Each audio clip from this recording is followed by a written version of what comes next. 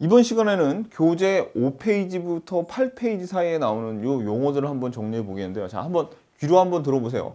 가계 처분 가능 소득, Goldilocks 경제, showrooming, 공유 경제, 곰의 포옹 새벽의 기습, greenmail 백기사, reshoring, offshoring, 루이스 전환점, 가변 예치 의무제도 spread. 이제 요런 것에 대해서 한번 살펴볼 테니까 한번 봤죠? 그럼 우리가 이제 요 놈들에 대해서 하나씩 살펴보도록 하겠습니다. 자, 요거 가계가 마음대로 소비와 저축으로 처분할 수 있는 소득을 의미한다. 자, 밑줄 보세요. 요 가계가 마음대로 소비와 저축으로 처분할 수 있는 소득이 우리 거시경제학에서는 이거 가처분 소득이라고 배웠, 배웠던데 그겁니다. 이게 답은 뭐냐면 미리 말씀드리면 가계 처분 가능 소득이에요. 가처분 소득과 마찬가지입니다. 요건 뭐냐면 가계 소득에서 비소비 지출이에요. 그러니까 소비 가계가 마음대로 소비할 수 있는 것이 가계 처분 가능 소득인데 소비에 안 들어가는 지출이 뭐냐면 세금 내는 조세, 사회보장비용, 국민연금 같은 거 있죠? 그 다음에 이자 부담 등을 뺀 소득이 가계가 마음대로 어, 소비할 수 있는 거죠. 그래서 국민들의 생활 수준을 파악해 볼 수 있는 지표로 국민 총소득이 널리 쓰이고 있어요. GNI를 널리 쓰이고 있는데 국민 총소득에는 가계뿐만 아니라 뭐도 들어가 있냐면 정부, 금융기관, 기업까지 다 포함이 되어 있어가지고 정확하게 가계, 우리 가계만 느끼는 체감 경기를 알 수 없기 때문에 가계 처분 가능 소득을 기준으로 하는데 요거를 또 1인당으로 나눈 것을 우리가 여기 퍼스널이니까 요 피죠. 그래서 1인당 가계 총처분 가능 소득이라고 합니다. 그래서 가계 부분의 총처분 가능 소득을 인구수로 나누어 계산한 지표로 가계 구매력을 가장 정확히 가늠해 볼 수 있는 소득 지표다라고 했죠. 자, 그래서 뭐냐면 가계 처분 가능 소득이에요. 요것도 알아두셔야 돼. 어, 이, 요거를 인구수로 나눈 게 가계 총 처분 가능 소득인데 1인당 1인당 가계 총 처분 가능 소득이라고도 하는구나. 오케이 됐습니다.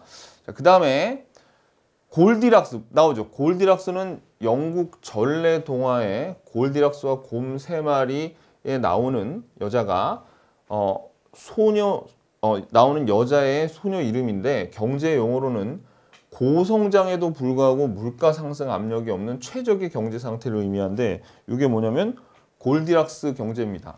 요, 요 동화를 뭐 저도 읽어본 적이 없는데 대충 뭐 얘기를 들어보면 어, 어떤 얘기냐면 어떤 뭐 이 골디락스라는 금발머리 여자애가 그 곰이 사는 집으로 들어갔는데 거기에 세 가지 물건들이 꼭 있는 거예요. 그래서 죽이 세 개가 있는데 죽이 하나는 차갑게 식었고 하나는 되게 뜨거워. 근데 하나는 미지근해. 그러니까 얘는 이렇게 미지근한 걸 먹고요. 뭐 의자를 앉으려고 그랬는데 한, 한 의자는 너무 작고 하나는 너무 크고 하나는 크기가 딱 맞아. 그래서 딱 맞는 의자에 앉는다는 둥. 침대도 뭐 하나는 되게 너무 푹신푹신해서 불편하고 하나는 너무 딱딱하고 하나는 어 되게 그 딱딱하지도 않고 되게 편안한 침대. 어 그래요. 제가 침대 생활을 한 번도 안 해봐가지고 저는 그 침대에서 거의 자, 자본 적이 없어요. 다 그냥 바닥에서 이불 깔고 자가지고 잘 모르겠는데 그 침대는 저는 푹신하기만 함, 푹신하면 좋은 줄 알았는데 이게 좀 그 뭐야 푹신하지 않고 좀 적절해야지 잠이 잘 오나 봐. 아무튼 그래가지고 요 딱 중간에 있는 그 그러니까 우리 중용을 지키는 그런 선택을 이 골디락스가 했대요. 그래가지고 봐봐요. 우리 그 경제도 성장을 할 때는 보통 물가가 막 상승을 하거든요. 그런데 성장을 함에도 불구하고 물가 상승 압력이 없는 미지근한 가장 맛있게 먹을 수 있는 적절한 주계 상태, 가장 편하게 앉을 수 있는 의자 상태, 편하게 잘 수 있는 침대 상태라 그래가지고 그걸 뭐라 그런다?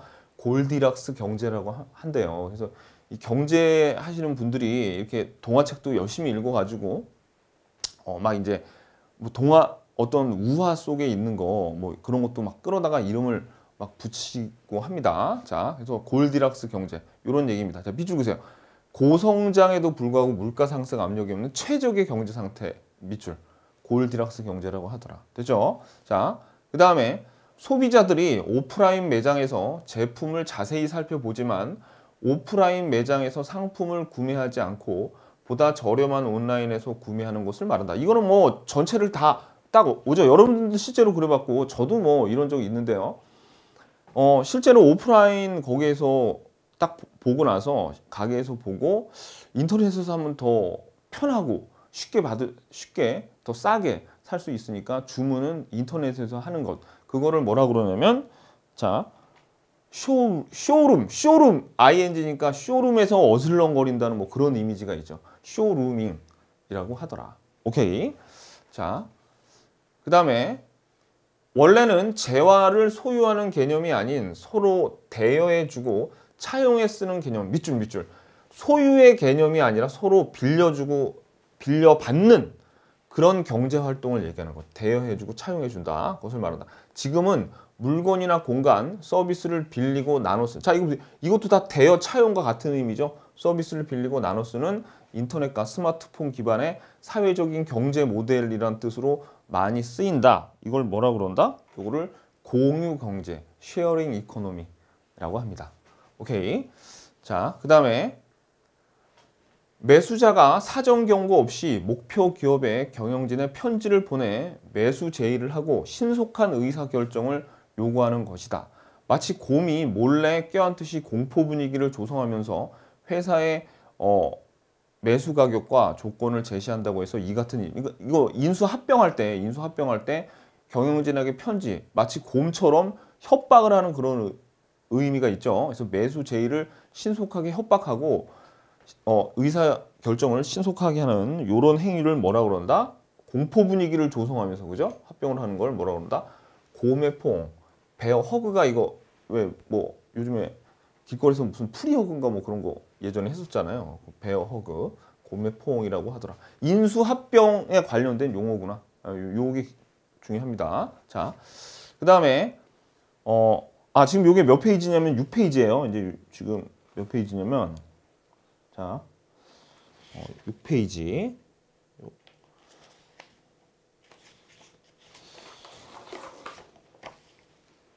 자, 그 다음에 어, 베어허그와 유사한 적대적 M&A 수법으로 대상 기업의 주식 상당량을 미리 매입한 뒤 기습적으로 동그라미 치세요. 기습적으로 인수해버려.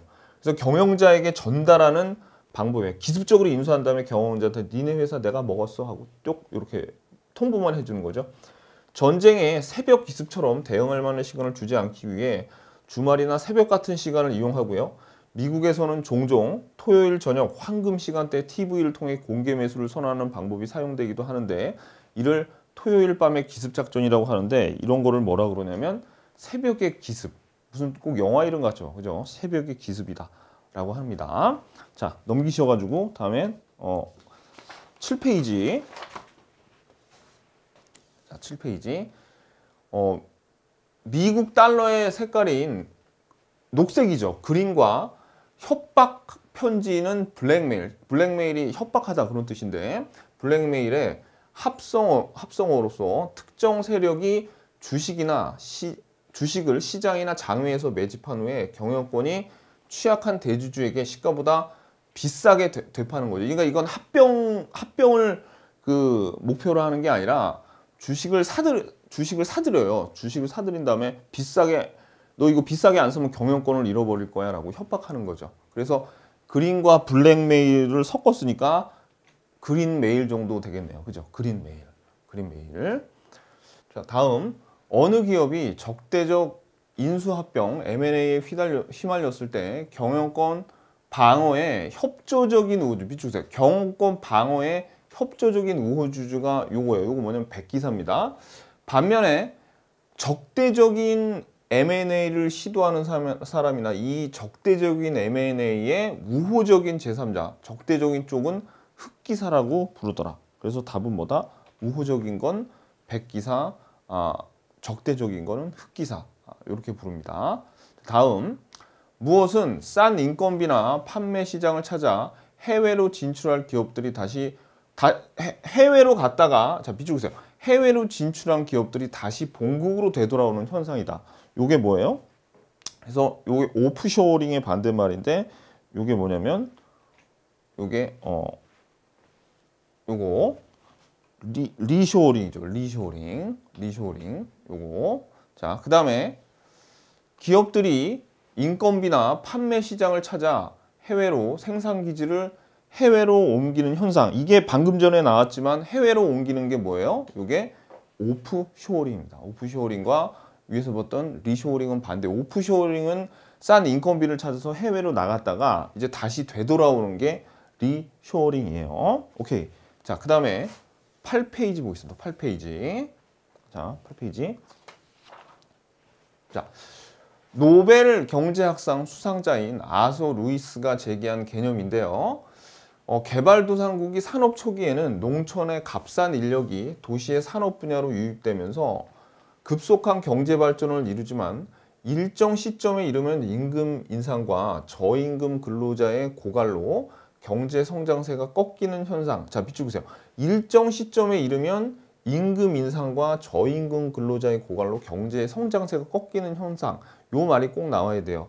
요걸 뭐라 그러냐면 여기 루이스가 제기한 거죠. 그래서 요게 루이스 전환점입니다. 루이스 전환점. 자, 그래서 루이스 전환점에 이르면 인건비와 자본 비용이 급등하면서 고비용 저효율 구조로 바뀌므로 성장세가 아, 둔화된다. 조금 요 루이스 전환점에 있는 지금 가장 요 루이스 전환점에 있다고 보이는 쪽이 중국이죠. 이제 인건비가 어느 정도 오르고 어 고기술 쪽으로 나가려 그러는데 기술 그렇게 마땅한 원천 기술도 많이 없고 지금 현재 루이스 전환점에 있다고 봐도 될 것 같아요. 중국이. 자, 그 다음에 외국으로부터의 유입된 자금에 대해 일정 비율의 예치 의무를 부과함으로써 국경 간 자본 유출의 규모와 속도를 조절하는 수단이다. 밑줄. 자, 외국으로부터 어떤 자금의 유출, 유출입에 대해서 그거를 조절하려는 제도예요. 단기간에 대규모로 이루어질 경우 환율 또는 증권 가격의 급등락을 불러와서 이렇게 어떻게 제재 그 저기 규제를 하는 거죠. 해칠 수도 있다. 이러한 부작용을 완화하기 위한 제도의 하나이다. 이게 뭐라고요? 가변 예치 의무 제도. 가변 예치 의무 제도입니다. 외국으로 들어온 자금의 일, 일정 부분을 어, 이렇게 어, 예치, 예금하게끔 만들어 놓는 거. 자, 그 다음에 채권 시장에서 비교 대상이 되는 금융상품의 기준금리에 대해서 대비한 차이를 여기 답이 나왔네요. 그냥 스프레드라고 합니다. 스프레드. 스프레드라고 한다. 그래서 기준금리가 있다면 기준 기준금리가 예를 들어서 어, 기준금리가 어, 자 기준금리가 지금 뭐 2%라 그래 2%. 근데 어떤 금융상품이 이자율이 4%라고 그러잖아요. 그러면 이 기준금리과의 차이 차이가 아 4%로 5%라고 할까요? 기준금리 2%인데 어떤 금융상품의 어, 수익률이 5%면 기준금리하고 3% 차이 나죠? 이 3%가 스프레드. 이 기준금리와 벌어진 차이를 의미하는 거예요.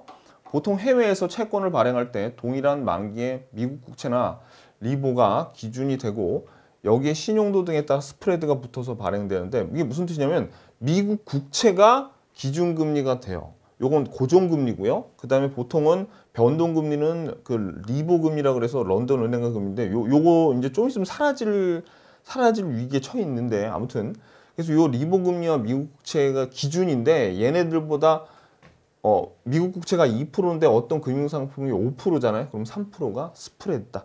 그 벌어진 차이. 그걸 우리가 스프레드라고 합니다. 아셨죠? 오케이 됐습니다. 오늘 그래서 5페이지부터 8페이지까지 봤습니다. 그 이 자 이 지금 시사 용어를 이렇게 외우는 작업이 뭐 그렇게 여러분들이 아주 재밌거나 뭐 그렇진 않지만 최대한 여러분들이 효율적으로 하기 위해서 제가 토막토막 내가지고 한 10개 정도, 10개 내외 정도만 분량을 나가고 있으니까 거기에 충실하게 조금씩 보다 보면 여러분들이 재미도 붙고 지식이 늘어날 겁니다. 아셨죠? 다음 시간에 뵙겠습니다. 안녕히 계세요.